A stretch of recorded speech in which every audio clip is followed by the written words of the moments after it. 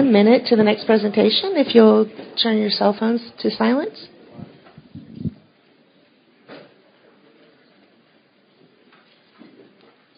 Good morning, everybody. I'm Chris Schott from J.P. Morgan, and very happy to be hosting Mallinckrodt this morning. Uh, we're going to break and do a fireside chat type of format. Uh, but from the company, we have Mark Trudeau, the company's CEO, Uh, Steve Romano, who runs R&D, as well as Bryan Reasons, uh, the company's CFO. Uh, we're going to have Mark make some opening comments, and we'll just jump right into the fireside from that.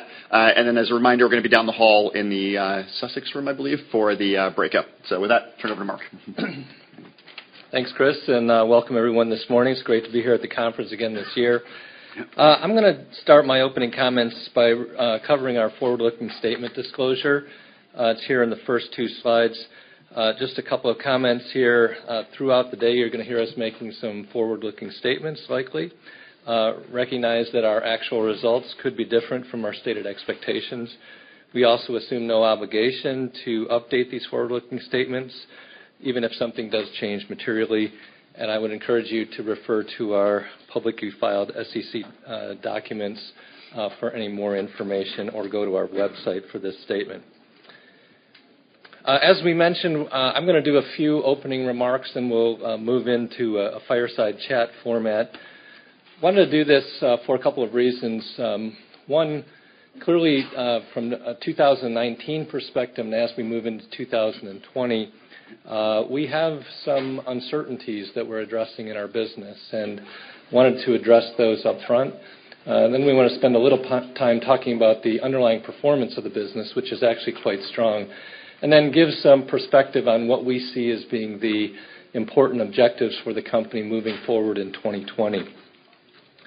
So I think it's pretty clear that uh, we have three uh, uncertainties uh, facing the business currently. We've been actively addressing these uncertainties throughout the course of 2019. The first two I would characterize as business as usual. In the normal course of operations for any company, these would be uncertainties that the company would be dealing with.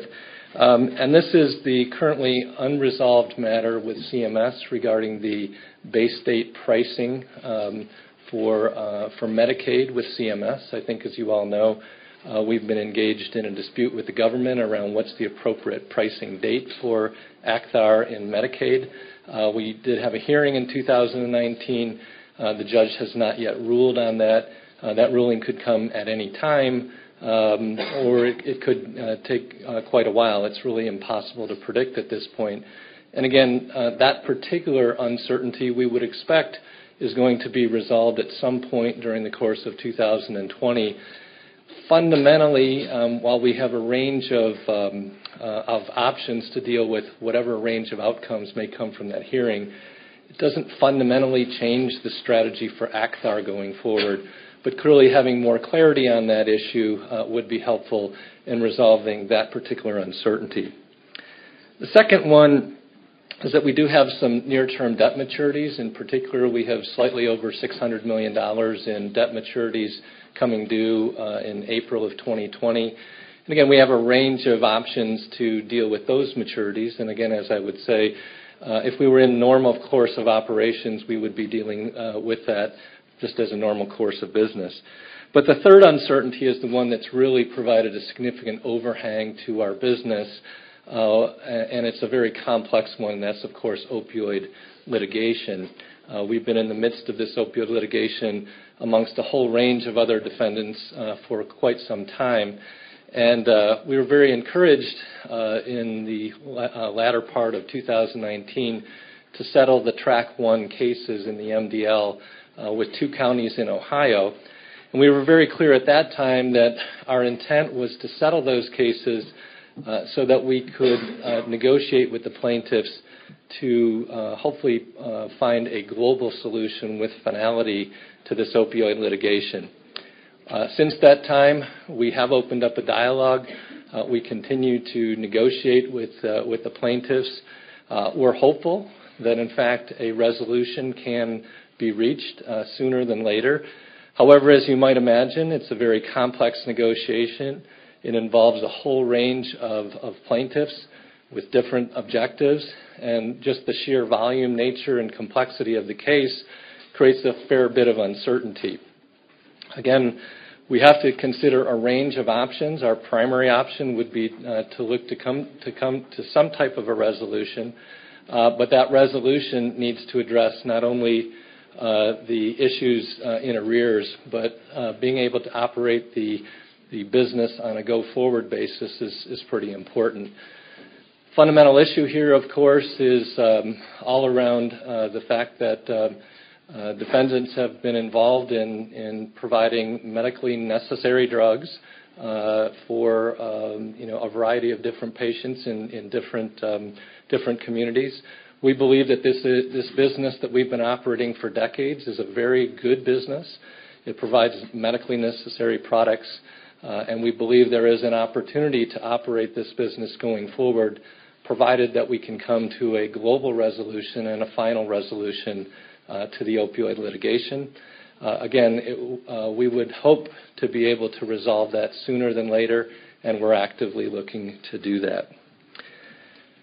So despite all of this uh, uncertainty that's uh, that's going on, um, the business continues to operate. Uh, the business continues to operate very well, and our overall objective for the business is to become a pure-play branded pharmaceutical, biopharmaceutical growth company focused on drug development and commercialization for underserved patients with severe and critical conditions in two primary areas. One is immune-mediated diseases, and the second is in the hospital critical care space. And we've set up, we think, a very exciting business to be able to deliver on that promise. And again, um, managing through these uncertainties in the near term uh, is quite important uh, for us to be able to enable that strategy going forward. A couple of things that we should look at. In 2019, we outlined four uh, broad goals for the business. We've been able to execute very well on three of those goals. The fourth goal, which is uh, separating the branded business and the generics business, obviously, the opioid litigation uh, has blocked that opportunity in 2019. Uh, we've explored a whole range of opportunities to separate these two very different, very good businesses, but very different businesses. And again, given our objective to resolve the opioid litigation, we would look forward to being able to operate Uh, and get these businesses operating independently, hopefully sooner than later in 2020. But Of course, there are complexities around that, and we have a range of options that we continue to consider to affect that particular objective. The other three objectives, one was maximizing the value of the in-line portfolio. In fact, uh, the business has continued to perform very well in 2019. Throughout the course of the year, we uh, updated Uh, and uh, increased guidance on the bottom line three out of three quarters. The business continues to perform very well, generating very very good cash flow. We also talked about advancing our pipeline and our data generation activities. 2019 was a very big year for Mallinckrodt in doing that. It started really off in January with some data that we uh, communicated around our THERAKOS platform in pediatric patients with acute graft-versus-host disease. Uh, we reported on two late-stage development assets uh, in terlipressin and StrataGraft, where we had very positive data in both of those programs, and we're moving rapidly towards a filing for both of those two. We're expecting that we may have the opportunity to launch those two new products uh, into our existing commercial infrastructure sometime in the second half of 2020. And again, we've had some very strong data readouts uh, around Acthar. In particular, we had some very positive news on Acthar in refractory RA patients that we've been um, communicating to prescribers and payers. And we think that data uh, may enable us to think quite differently about the value proposition for Acthar going forward.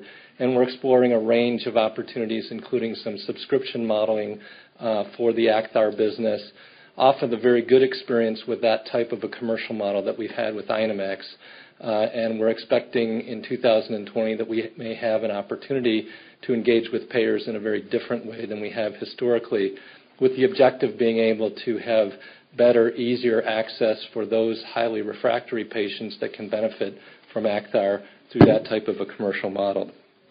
The last objective was to um, exercise a very disciplined capital allocation uh, uh, program with emphasis on net debt reduction.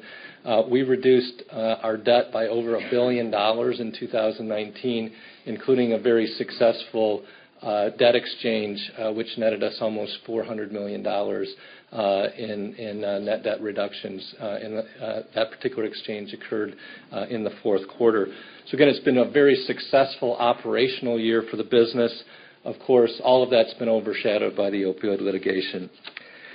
Just to conclude, if I was to share a few goals then for um, 2020, obviously resolving the uncertainties facing the company are first and foremost, and I've talked about our pathway to do that. Um, we want to continue to maximize our diversified portfolio, stabilizing our key products, in particular Acthar, um, but also uh, looking to continue the very good growth that we have in our hospital portfolio, which has been tracking to high single-digit growth throughout 2019. And continue to advance data generation and prepare for two new product launches in StrataGraft and terlipressin in the second half of 2020.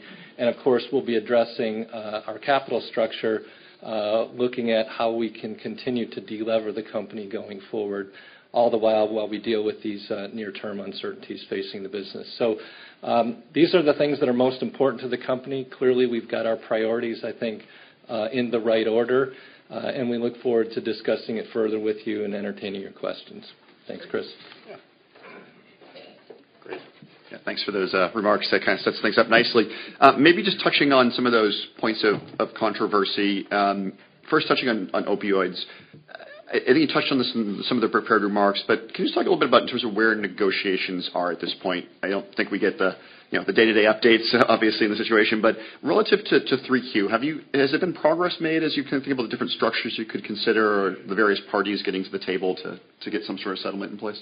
Yeah, we've uh we've continued to negotiate with the appropriate parties, we believe. Obviously, there are a number of different plaintiffs involved in this, and you can't come to uh, any kind of productive discussions if you've got to negotiate with you know, dozens of of or dozens of plaintiffs at the same time. So we have a core group of uh, uh, plaintiffs that we've been working with. We've been in active negotiations and discussions with them since we settled the um, Track One cases. Those discussions and negotiations continue, and there has been progress. And Is the goal to get kind of a global settlement agreement, or could we see a path where we have, for instance, the state AGs separated out from some of the counties moving forward? Well, it's quite clear for us, uh, we're looking for a global settlement. Um, I mean, it uh, makes sense for us to deal with um, the entirety of this litigation, both looking backward and looking forward. Again, we think this is a very very good business, providing really uh, medically necessary products. This generics portfolio, as you saw in 2019, Uh, has exhibited uh, a return to growth for three consecutive quarters after an extended period of contraction. And again, we think going forward, this is a business that can grow. There's a pipeline in development there, uh, largely in non-controlled, hard-to-make generics, and it's a good cash flow generating mm-hmm. business. So it's quite a healthy business, provided that it can operate in an environment where opioid litigation has been resolved, both from a backward-looking and a forward-looking uh, perspective. And that's a bit of the complexity. Uh, not only do you have a whole range of different plaintiffs to deal with with different objectives, but also you want to make sure that you've got finality uh, and completeness so that the business can operate in a productive way going forward. Makes sense. In the past, you talked about a legal structure that could potentially shield that branded business from some of the opioid liabilities and settlements. It sounds like you think that's still a potential of separating out the specialty kind of generics business. Just talk a little bit about you know, what options are available and and how would that impact your ability to get a settlement done? Yeah. So I'm going to ask Brian to comment on this in just a minute, but um, you know, we believe that uh, our legal entity structure uh, does offer at least an opportunity for us to come to some type of a uh, global resolution of this. But specific to Mallinckrodt, we're not in any way saying that we can solve this issue for all of the defendants and all the plaintiffs, but we think we've got some special circumstances around the separate nature of our branded and our generics business that could enable us to come to a global resolution. Yeah, and we talked about it in the back of ways when we were planning the spend. Sure. Um, uh, if you look at kind of the history of the legal structure, uh, Mallinckrodt's branded business and generics business had always been had been in separate legal entities, and there was mm-hmm. not as much intertwining. So um just like we're going to be able to separate it pretty easily in a spin, um, in the context of a settlement, they could also be separated as well. Okay. As you can appreciate, I mean, given the complexity of this, we have to continue to consider a range of options to resolve this. And again, major objective here is to resolve this globally with finality one way or another. Maybe last question on the opioid side. Just uh, the upcoming New York case, is that a catalyst at all to get different players to the table and get something done? I think it can be. I mean, um, you know, for Mallinckrodt, uh, it's it's really not realistic that we start going through and settling these one-offs. Sure. It just doesn't. Financially, we can't do it. Um, New York's a large state, um, so clearly that could be a catalyst for us. Okay. Um, Maybe pivoting over to to Acthar. Just following on everything that's kind of happened between the CMS dispute, some of the data readouts, help us a little bit how you're thinking about the trajectory of, of that product over the next several years. So our our objective for Acthar is to really create a very modernized brand uh, that focuses specifically on uh, refractory patients uh, in some very challenging disease conditions. And the example would be the RA um, in, data that we just generated. Um, We're not necessarily looking to have this product be um, you know, a, a, an early line product to address Uh, typical RA patients. We're looking for those highly refractory RA patients who, after being on uh, a lot of other products, still have active disease. And I think the RA data that we presented was specifically in that patient type, and we were able to demonstrate that uh, with the appropriate dose and duration, those patients can have significant benefit. In fact, we saw somewhere around 65% or so of these highly refractory RA patients experiencing benefit by being dosed on Acthar uh, with a specific regimen for at least 90 days. That data is very powerful, and we've got a whole number of additional data sets that will be coming out uh, in the next 12 months or so. In addition to that, we're looking at a modernized presentation, effectively a prefilled syringe uh, self-injector Uh, that would be a unit dose. And that uh, could enable us to think very differently about the commercial model for Acthar. Effectively, the current multi-dose vial that we have for Acthar really is required only for the infantile spasms indication. All of the other uh, primary adult indications could be more easily and more effectively addressed with the prefilled syringe um, self-injector. And so by continuing to develop innovation, creating more data Uh, around Acthar, we think that is really the key uh, to uh, generating access and ensuring growth over the long term. We'll know what we have with Acthar within the next 12 months or so as these things play out. Obviously, we're quite encouraged um, by the success of the Acthar RA data.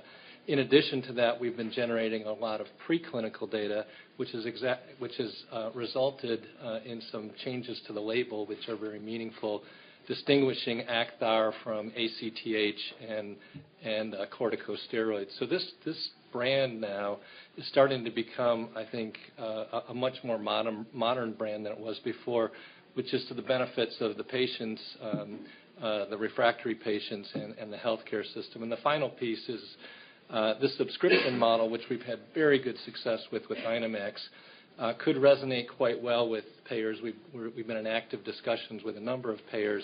They like the concept uh, because it enables them to identify the specific patients, uh, again, armed with the data. And that helps our business because we would be contracting effectively um, with payers to have better access, easier access for those specific patients that would be addressed by the subscription model.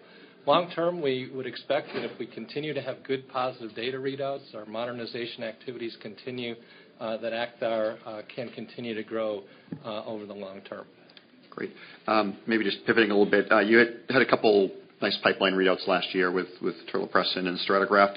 Maybe a question for Steve, if you could just lay out kind of the next steps for those products and Sure. should we be thinking about AdComs, et cetera, as as these go through the regulatory process? Yeah. So as Mark said, we did have a very successful year. Two of our phase three programs that we had initiated several years ago read out. One, StrataGraft, which is uh, going to be a BLA. This is a regenerative medicine product uh, for uh, replacement of autografting in certain patients with severe burns. The first indication is in deep partial thickness burns. So we've completed that study. The results were really very clear and good. We had very good meetings with the agency, a pre-BLA meeting back in November, and we are moving towards filing in the first quarter. So we're in the process of doing that.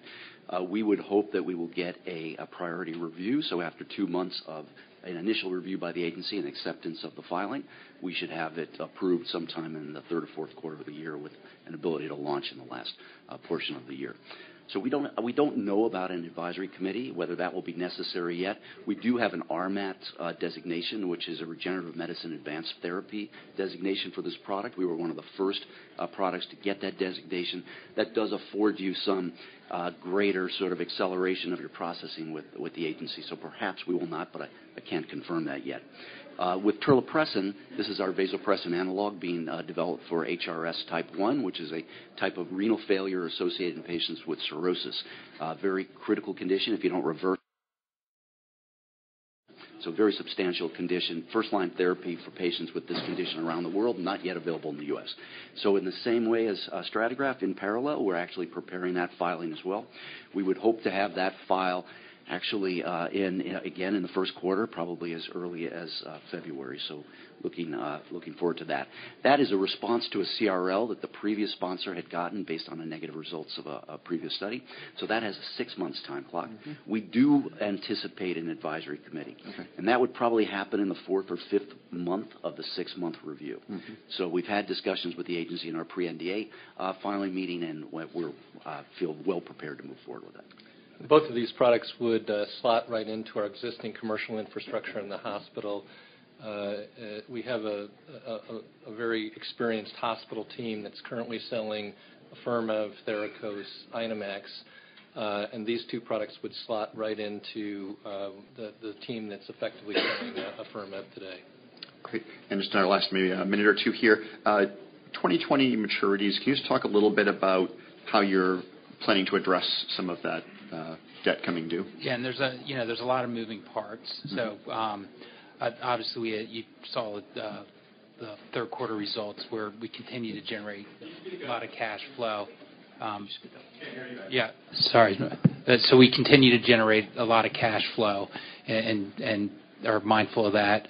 Um, you saw the exchange. We we would have it was successful. We would've liked to have had more of the 2020s exchanged. Yep. Um, we we still have uh, access to secure capacity um, as well. So we feel like, um you know given where the current opioid negotiations are and with CMS outstanding, um, you know, we still have enough flexibility to take care of the 2020s. Okay, great. Well, I think we're just about out of time. We'll uh, continue the discussion uh, down the hall in the uh, Sussex Room. Thanks. Thank you. Good. Thank you.